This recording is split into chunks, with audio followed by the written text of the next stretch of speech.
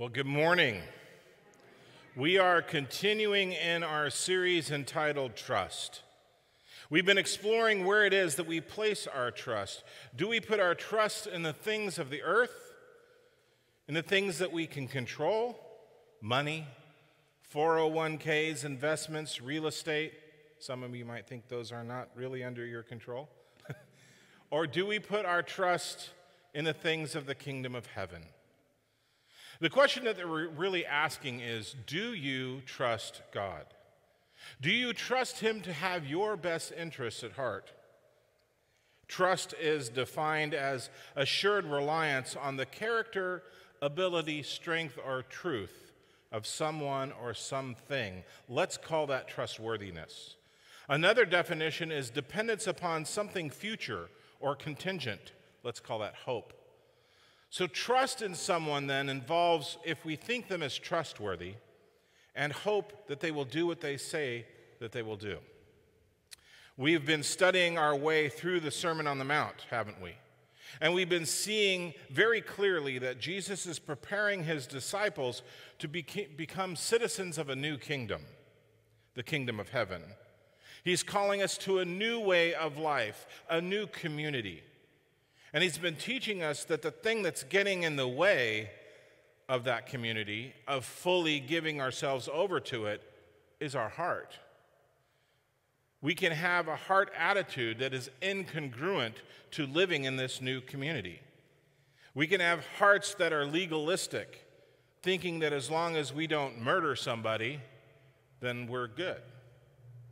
As long as we don't act on our lustful thoughts, we're being faithful in marriage. And as long as we go to church on Sunday and drop some cash in the plate as it goes by, then we can pursue greed in other areas of our lives. But as I said, this is the wrong heart attitude. It's incongruent to the community that Jesus is calling us to, that he is building. Jesus is turning all of those notions upside down in our lives. And he's bringing us to a new understanding where the old ways of our hearts are being replaced with the hunger and thirst for righteousness that he described in Matthew chapter 5.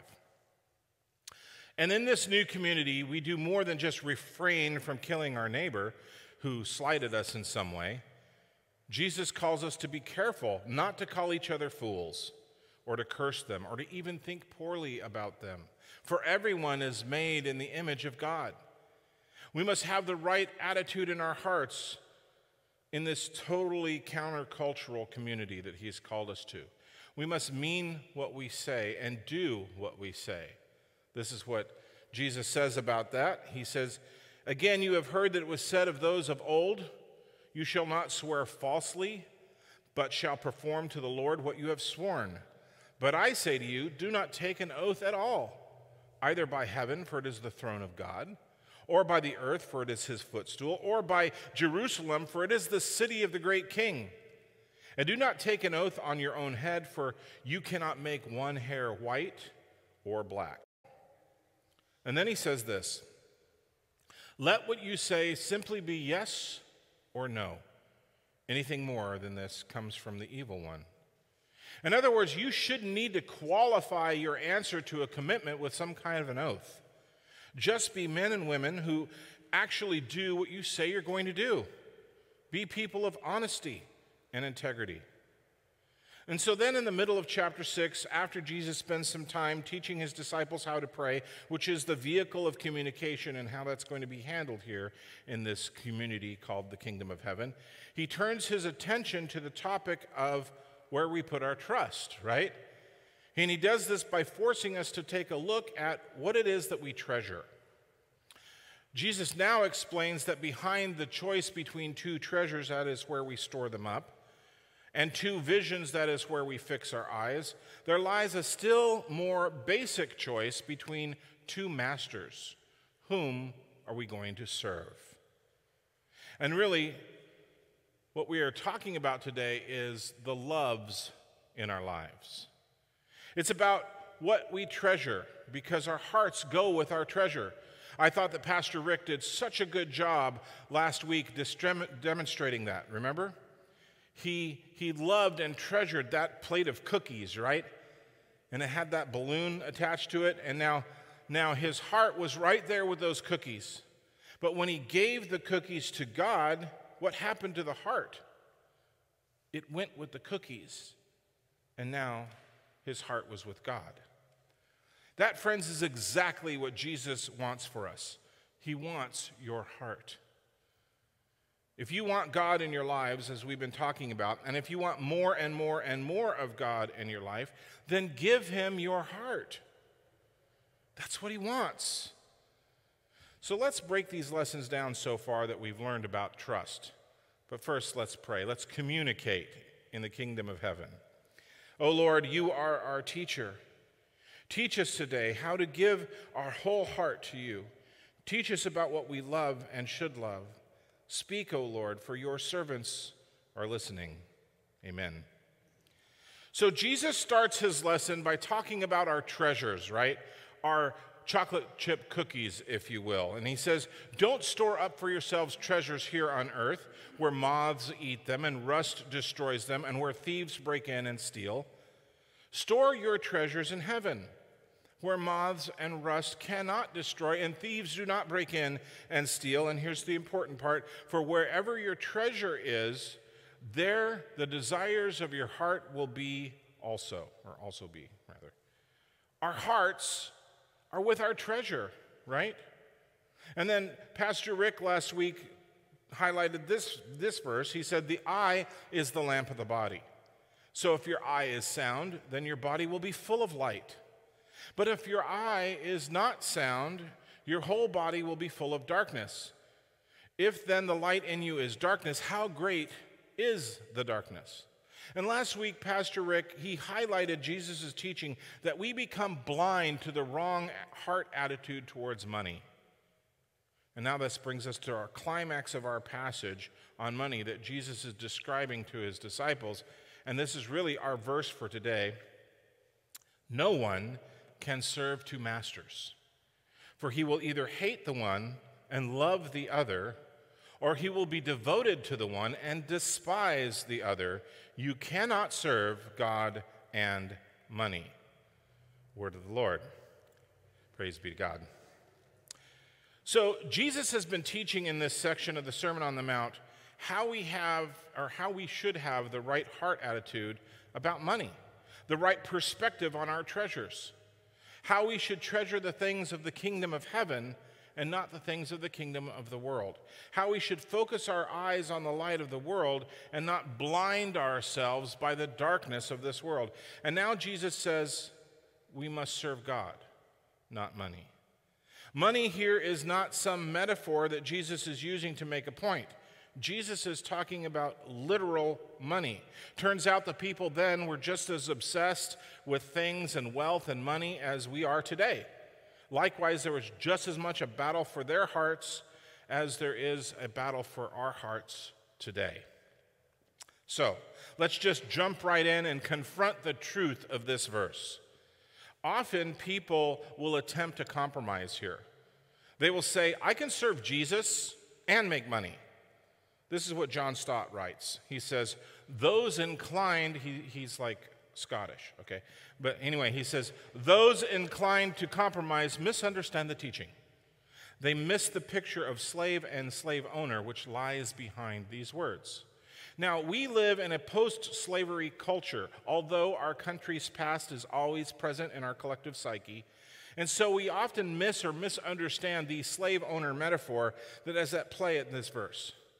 But I can, sh- I can assure you that Jesus' contemporaries, they understood this metaphor fully, since many of them were slaves with Roman owners.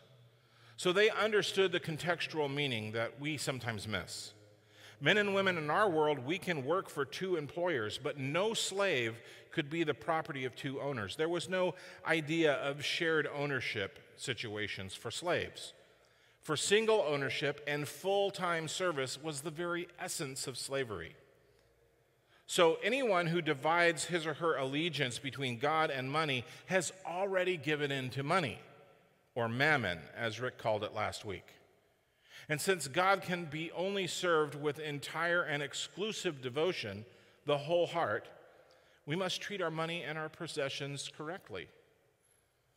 What are you going to love? It says, No one can serve two masters, for he will either hate one and love the other, or be devoted to one and despise the other. You cannot serve God and be enslaved to money, our passage reads in the New Living Translation. And Dallas Willard said, We cannot but serve our treasures, for they hold our hearts captive, right? We labor all day for them, we think about them all night long, they fill our dreams, but it is not uncommon for people to think that they can treasure the world and treasure the invisible kingdom as well, that they can somehow serve both. And you know, perhaps we can make that work for a little while, but there will come a day and a time when one must be subordinate to the other. We simply cannot have two ultimate goals or, or two points of reference for our actions. That's how life is, and nobody escapes that. You cannot be a servant of both God and the things on earth because their requirements they conflict with each other at points. Unless you have already put God first, for example, what you have to do to be financially secure, to impress other people, to fulfill your own desires will invariably lead you against the wishes of God. That's why the first of the Ten Commandments, you shall love no other gods, or you shall have no other gods who take priority over me, is the first of the Ten Commandments, right? So treasuring and serving both God and mammon is a nonsensical idea. In any case, you cannot even conceive that God would endure that. Of course, you can have some material goods and value them and use them as well for the sake of God to be used in his kingdom. But that is exactly what Jesus says to do in the first place when we place our treasures in heaven. So, again, do not miss or misunderstand the concept of slave and owner that is present in this verse. For Jesus is asking the question Who is your master? Again, here in our country, the idea of slavery is a foreign concept to us, but it is a common theme that runs through the Bible. So it has value for us to be able to understand it, right? What Jesus has been teaching us throughout the Sermon on the Mount is that God wants our heart. He wants to take our hearts captive. He wants our love and our devotion. That's what being a citizen in the kingdom of heaven is really all about. The Apostle Paul, he talks about this slave metaphor frequently. I have a passage here I'm going to read to you from Romans chapter 6. This is what it says Do you not know that if you present yourselves to anyone as obedient slaves, that you are slaves to the one whom you obey, either to sin, which leads to death, or of obedience, which leads to righteousness? Remember that Jesus said that we are blessed to be citizens of the kingdom of heaven. In Matthew 5, in the Sermon on the Mount, Jesus said, Blessed are those who hunger and thirst for righteousness. And do you remember their reward? For they will be satisfied. And Paul continues, he says, But thanks be to God that you, who were once slaves of sin, have become obedient from the heart to the standard of the teaching to which you were committed. And having been set free from sin, you have become slaves of righteousness. I'm speaking in human terms because of your natural limitations, he says. For just as you once presented your members as slaves to impurity and to lawlessness, leading to even more lawlessness, so now present your members as slaves to righteousness, leading to sanctification. For when you were slaves to sin, you were free in regard to righteousness. But what fruit were you getting at that time from the things to which you are now ashamed? For the end of those things was death. But now that you have been set free from sin, you have become slaves to God, and the fruit that, that leads to sanctification, and in its end, eternal life. And then, verse 23 For the wages of sin is death, but the free gift of God is eternal life in Christ Jesus. So in God's kingdom, we choose our master. Will we be slaves to the kingdom of the world or to the kingdom of heaven? Will we be slaves to sin or slaves to righteousness? Will, will our master be money and gain or will we serve the Lord? In Galatians 1:10, Paul says, "For I am now For am I now seeking the favor of people or of God? Or am I striving to please people? If I were still trying to please people, I would not be a bond servant of Christ. So, what do we make of this term bond servant? This is a term that referred to a servant or a slave that pledges his or her life to their master. It comes from an Old Testament concept and an Old Testament law. The Hebrew word for bondservant is hebed, and it allowed an indentured servant to become a bondservant voluntarily. It's talked about in Exodus chapter 21, verses 5 and 6. If a servant declares, I love my master and my wife and children, and I do not want to go free, then his master must take him before God. He shall then take him to the door or the doorpost and pierce his ear with an awl, and he will be his servant forever. Do you catch what this, this verse is saying? We only think of slavery as bad, and we should because it's a terrible thing that Satan used to corrupt many nations. But in this case, the slave loves his master. He doesn't want to leave out of his love and devotion for his master. That love that obedience, that devotion is what motivated Paul to call himself a bondservant of God. And this act of piercing one's ear that's described in Exodus was a physical sign of bonding oneself to their master, like literally chaining yourself to the owner. In other places in the New Testament, Paul talks about the fact that we are bought and paid for by the blood of Jesus Christ. So the question is who is your master? And do you love Jesus? Do you love God so much that you will bind yourselves to him? That's about the heart attitude, right? So, what about our money? Jesus has tried to get our hearts in the right place about our treasures, telling us to store up our treasures in heaven, noting that where our treasure is, that is where our heart will be also essentially telling us to treasure or to, or to give our treasure, our hearts, to the things of God rather than the things of the world, the things of the kingdom of heaven. Rick last week laid out that we blind ourselves to our love for money. We are in the darkness on this issue, he said. And today, Jesus teaches us that we must choose whom we are to serve God or Satan, Jesus or money? The kingdom of heaven or the kingdom of the world? So, but what about our money? How do we feel about our money?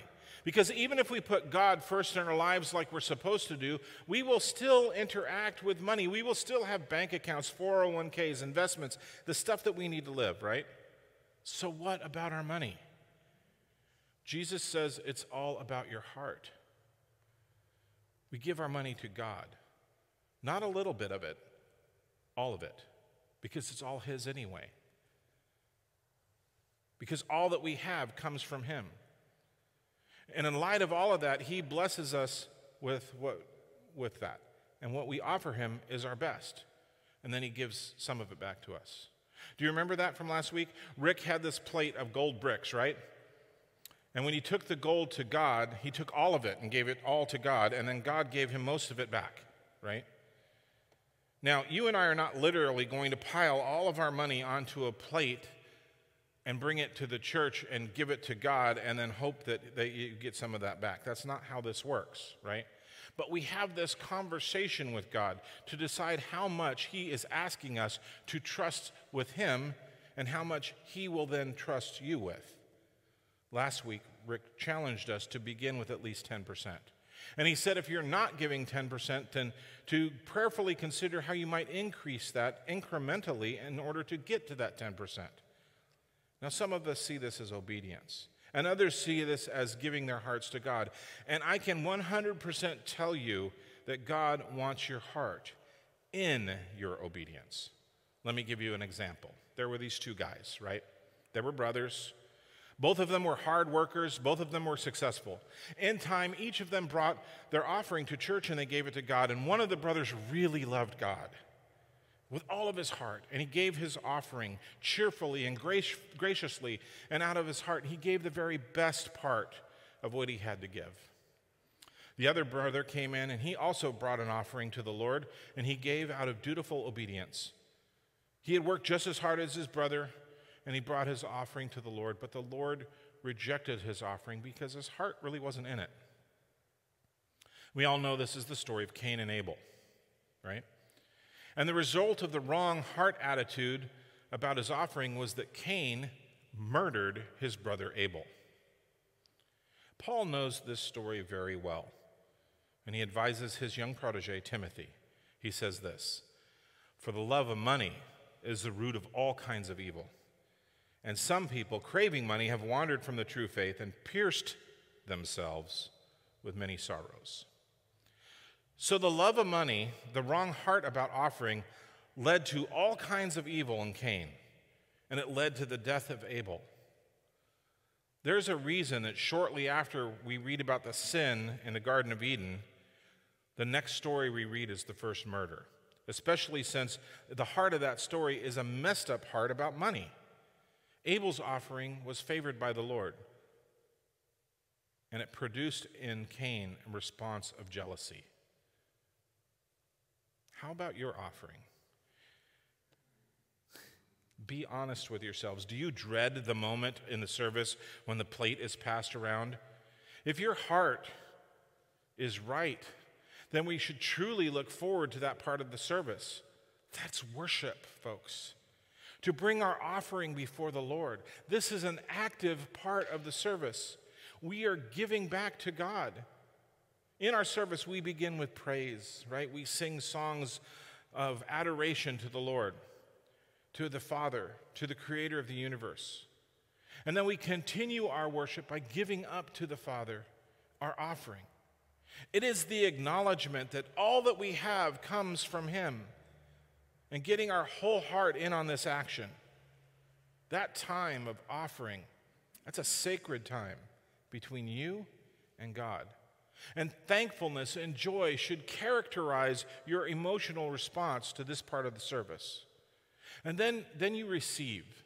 You receive the message, the word, through the reading of Scripture and the message that's proclaimed up here. Offering praise, offering adoration, offering the fruits of our labors, and then receiving His word and message, receiving His blessing at the end, at the benediction. That's what's going on in here. That's what we do on Sundays. Sometimes we hold back our offering from the church. We do this when we're worried about our own finances, right? Maybe that's an indication that we're losing trust in God. We'll talk a little bit more about that next week. But sometimes we hold our offering back when we disagree with some things that are happening in the church. We're upset with leadership, or you're upset with the pastor. Now, let me ask you this how can you maintain the right heart attitude with your treasure and with your money if you're holding back your offering because you're unhappy with the church? You can't, right? While the church uses the money that we collect to carry on the ministries of the church, paying our bills, paying our staff, and all of that, what's really happening is a spiritual thing here. You are offering a portion of your labor. You give it to God because when we do, we give our hearts to God. For where your treasure is, there your heart will be also. So I want, to, I want you to ask yourself three questions Do I love God? Do I trust God? And am I giving God my heart when I give my offering? And so now I want to tell you about our situation. I'm going to get very real with you here this morning we are not doing well financially as a church. Now, I did not plan this series as a big campaign to come and ask for a big gift, okay, or to prime you up for a big giving pitch. We've been using the Sermon on the Mount, we've been going through the Sermon on the Mount, and we've been allowing that to direct the things that we're talking about. And so our text on the Sermon on the Mount has been leading up to this point, and it just happens to be right now. And so, really, it's God's will that we're talking about money during this time because that's the part of the Sermon on the Mount that we're in. So, let me give you the situation. Giving so far for 2022 is very low. Now, this is the graphic that was included in our weekly email that was reported, that reports our February financial information. I want you to I want to point out a couple of things to you on this report. I'm very nervous about this. I don't like talking about this stuff. But here we go. February's income, and hopefully you can see it, was $22,369. Last February, during the pandemic, it was $36,900. Year to date for this year, as of February, is $52,743. Last year at this time, we were looking at $80,799. Now, I can tell you that January's numbers and March's numbers will be pretty much the same. In terms of income, um, income is comprised here really of two things the offering plate and our facilities income. Now, we also have our expenses report. Right now, we're spending at or close to our budget each month, which means that with incoming, income coming in so, so low, we cannot sustain our current budget, nor can we keep our, our current expenses at the current level. So you might be thinking, those of you who have business minds out there, you might be thinking, no problem. Let's just cut spending and we'll be fine. I just want everybody to understand that means that we will probably need to reduce staff because that's where we are. So ask yourself those three questions that I just mentioned Do I love God? Do I trust God? And am I giving God my heart when I give my offering? Seek His will for you. Maybe He's asking you to give more money to our ministry here. Maybe He's asking you to go out and invite people to come to our church so that it will grow. I'm not standing here today to guilt you into giving more money. That is not my purpose. I'm not up here also to sow any kind of seeds of discouragement. On the contrary, I believe that God is doing a great work here at Lighthouse. And I believe that God is going to do a miraculous work in our city because we're Lighthouse. We are a family shining Christ's light into our community. That is our mission. And God is totally in that mission, and I am excited to see what's going to happen. So if you feel God moving in your heart today to make a change in your offering that you bring to God, then do so with thankfulness and joy. If you're unhappy with things in the church, talk to us. Talk to us. We can't change it if we don't know it's upsetting you. Okay? Do you love God? Do you trust God? And are you giving God your heart when you give your offering? Because this is about our hearts, right? This is about whom we are going to serve. Let's pray. Heavenly Father, we thank you for your word. We thank, we thank you, Lord, that through your divine will, you plan out the sermon schedule. And we thank you, Lord, that we can have the courage to stand here and to talk openly about how we feel about money, which is such a personal thing. But Lord, it has a way of just capturing our heart. It has a way of preventing us from giving ourselves fully to you. But when we decide and dedicate ourselves to you and give that part of our lives over to you, wow, Lord, you do a work in us that is exciting. You do a work in us that changes us forever. You do a work in us, Lord that leads to life, eternal life. Because it's about what's keeping us from you. And sometimes what's keeping us from you is the thing that we conceive that we control. And when we let go of that control, we put our trust in you because you are trustworthy. And because in you we place our hope. We pray these things in Jesus' name. Amen.